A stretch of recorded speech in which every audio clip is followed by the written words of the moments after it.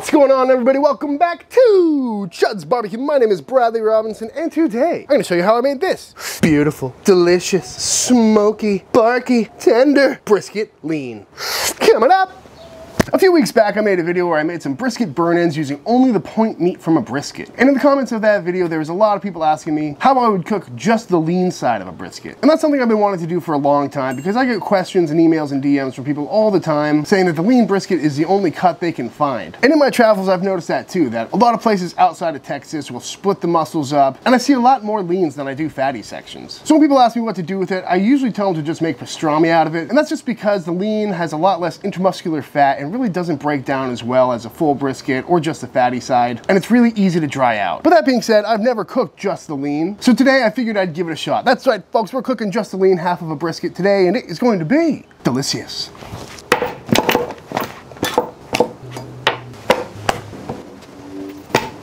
This is the lean side of a brisket the lean side of a USDA Prime brisket. This is one half of a Packer brisket, and I gotta say, just the shape of this thing is making me kind of nervous for this cook. I think it's gonna look pretty weird. Got some thin bits, but we're gonna do a little bit of trimming on this thing. On the back here, we've got a big pocket of fat, so we're gonna take that down a little bit. Same on this side. We're gonna take this side down just like we would on a full-size regular old brisket. Because again, we want some fat, but not too much fat. Kind of nice how you can see exactly what you're doing. Looking good to me. On the back side, we're gonna go through and clean up this silver skin. You know the drill, folks.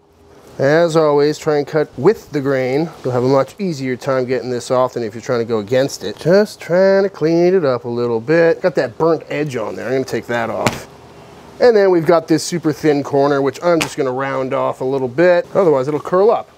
Take down this fat cap a wee bit. This is weird. Round off these corners. And there we have it. A nice looking lean side of the brisket, nicely trimmed up. Still got some point meat on there, so that's kind of nice. Again, this is probably gonna cook up really weird. I'm assuming this side is still gonna pool up. And because it's so much thinner over here than here, this side's probably gonna overcook. But hey, I don't wanna take this down too much. So we're just gonna see how it goes. This is a little experiment after all. But looking good to me. I think it's time to season it up. Going on on with our classic rub today, which is a little SPG. This is two part 16 mesh black pepper, one part diamond crystal kosher salt to one half part granulated garlic. And because this is just the lean side of the brisket, it really needs all the help it can get. So we're gonna pull out all the stops today, starting with a slather. Just going on with some mustard. Just a little bit. Nice thin coat. Again, I don't think the slather's really gonna do much for the flavor profile, but hey, if there's a chance, we might as well do it. And on we go. Nice heavy coat. Folks, you know the rules. And as always, if you're doing a 50-50 salt to pepper, I would go a little bit lighter on the rub because you don't want to oversalt this thing. And as always, folks, don't forget the sides, especially on a cut like this. Rookie move. Looking good to me. Let's fire up the pit.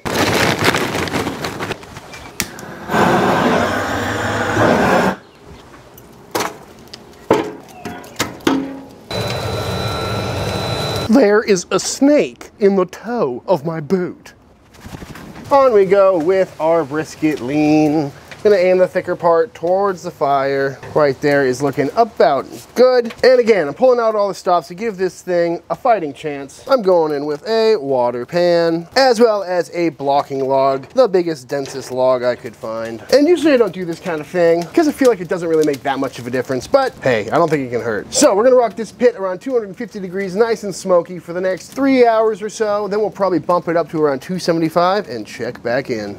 We're about five hours into this cook. This brisket lean is actually looking quite nice. And it's about this time I'm gonna go in and start hitting it with a little bit of apple cider vinegar. That's just gonna keep the outside cooled down a little bit, helps keep the bark soft. I'm also gonna hit this log too, so this doesn't burst into flames anytime soon. Still got plenty of water in our water pan, but we're gonna spritz this for the next few hours, make sure it gets nice and smoky, doesn't get too crispy on the edges or anything like that, and then continue on our smoke. This video is brought to you by Brett Reynolds Kitchens butcher paper. So last night that brisket lean came up to an internal temp of about 180 degrees and it was looking beautiful. Nice and barky. So I decided to give it the old paper wrap. You know all about butcher paper wraps, folks. It's really gonna help keep that meat nice and tender and juicy while protecting it from being overly smoked and helping prevent any edges from getting too crispy or too burnt. So I wrapped it up in some butcher paper along with some beef fat, of course. You gotta have a little tallow in your wrap, folks, especially when you're cooking just a brisket lean. You know, I'm trying to give this thing all the help it can, and as the name suggests, it's quite lean. So a little extra fat is going to help. It also makes the butcher paper a little more pliable so you can get a nice tight wrap on there. So I wrapped it up, threw it back on the smoker until it came up to an internal temp of around 200 degrees. And that butcher paper is gonna keep it wrapped up nicely with all those juices and tallow to make sure we get that wonderful buttery bark that we're all after. But the main reason why I am loving this product right now is because in the past, butcher paper was kind of hard to come by. So I ended up buying these big restaurant size rolls and then you gotta get that metal contraption that holds the roll with that blunt cutter on there. And as someone that doesn't use butcher paper nearly as much as a high traffic barbecue joint, that roll would last me way too long and in that metal contraption it was way too big and bulky. So I ended up living underneath this table where it's exposed to the weather and the paper just got dirty and when the rain hit it, it would ruin a few layers and it was just not working out. But with this, it is enough for a backyard cook such as myself. Fits nicely in any cupboard. And most importantly, it's got this beautiful little slide cutter.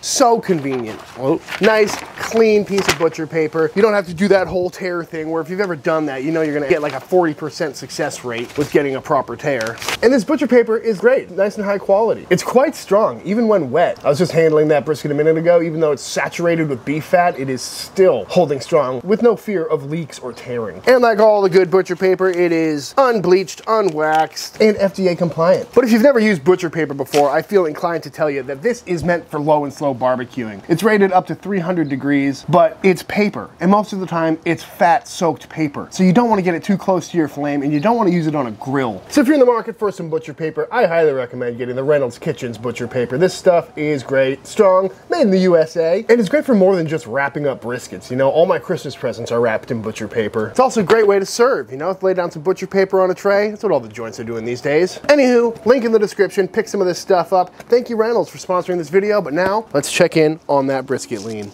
So as usual, I held this brisket overnight in my toaster oven just like this at 155 degrees. Looking like a lovely paper wrap brisket, nice and saturated with that fat. Gotta love it. Let's see how it looks. Ooh, don't mind if I do. Oh yeah, that's feeling wonderful. Lovely bark on there. Looking real nice all the way around. Feeling nice and tender. I'm gonna let this rest for about 10 minutes because it's still feeling a little toasty. And then we'll slice on in. A little tallow in this pan still. Oops. Oh yes, please. Great fire starter too. Gotta say folks, this is looking pretty good. I was worried it was gonna shrink up or shape weird or something, but pretty happy with how that looks. And whenever cutting a lean, whether it's just a lean or you're bisecting a brisket, I always recommend starting on the big end. Just because it's a lot easier to get these thicker slices from this side, as opposed to going from this side in, because you're gonna end up with a chunk like this big that's a little hard to slice. Just personal preference. There we go, folks first lean burn ends. Not ideal. Little crispy as to be expected, but not bad looking. Definitely nice and juicy, barky. And there's our lean. That is looking pretty good to me. Get some nice quarter inch slices out of here. And there we have it, folks. Nothing wrong with that. It's a nice looking slice of some center cut lean. Smells good, nice and soft, not too shabby folks, still nice and juicy. This point definitely got a little crispy, as to be expected. I mean, it's a bunch of lean brisket, but good fat render, nice and juicy. Tell you what, definitely something worth giving a shot. If it's all you can get, hey, might as well. Gotta love the lean, folks. Nice and barky on there. Good fat render on this top part. Nice and tender. Come on, what's not to like about that? I gotta give this a taste real quick. Mmm. Oh man, oh, that is fantastic. It's kind of nice how it's just the lean, you know what I mean? Not nearly as heavy. Still very flavorful. Oh. Mm-hmm. Nice and smoky, beautiful bark, about as juicy as a lean can be. Like I'm saying, if this is the only thing you can get your hands on, don't knock it. I mean, this is a-okay in my book. Beautiful bark, wonderful smoky flavor, nice and juicy, nice and tender. Nothing wrong with that. I mean, come on. It's a beautiful looking slice of brisket. What is not to like about that? No, don't mind if I do. It's really good. I mean, it's always gonna be drier than fatty brisket just by nature, but honestly, it's better than I was expecting it to be. Not bad, folks. Not bad at all. I wouldn't go out of my way to do this, but you know, if it's all you got, it's all you got. Or maybe if you're only trying to feed a few people, like if it's just you and your kid or something like that, this is a great way to go about it. Mm. Also, if you're just making brisket for like a chili or to go in beans or something like that, or you know, your eggs or something, this is another great way to go about doing that as well. All in all, I'd say it's a success, folks. You can, in fact, cook a brisket lean and have pretty good results. But without further ado, I think it's time for the official taste test. Ah, we're on a diet. We're eating lean brisket today. All right, y'all, that is it. That is how to make some absolutely fantastic brisket lean. Again, it's never gonna be as good as a nice fatty slice of brisket, but if you're trying to make some sandwiches and you don't wanna end up with 10 to 15 pounds of meat at the end of the day, this is a great way to go about doing that. But that being said, if you enjoyed this video, let me know by hitting that subscribe button. Let YouTube know by dropping a like on this video. Leave a comment down below letting me know what you wanna see me cook next. If you do give this recipe a try for yourself, be sure to tag me on Instagram at Chud's Barbecue. I love to see what y'all are cooking. Big shout out to all the Patreon members. Thank you for supporting Team Chud and allowing me to keep making videos. And until the next time I see you, please go cook something outside. Peace.